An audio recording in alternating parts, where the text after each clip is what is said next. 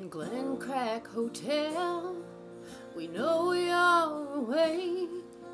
The only sounds are the sounds your crack pipe makes. Oh, how I long, I long to hear your voice.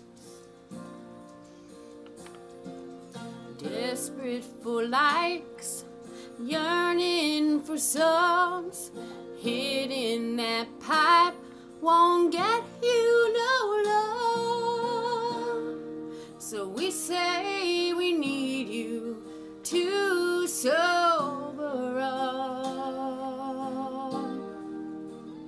John Yates lies,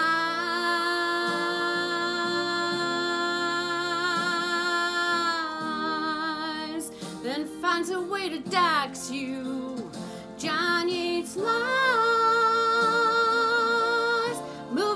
Your home, steal your Chicago cutlery, be his man's butt, then call the police and lie on the phone. John Yates lies.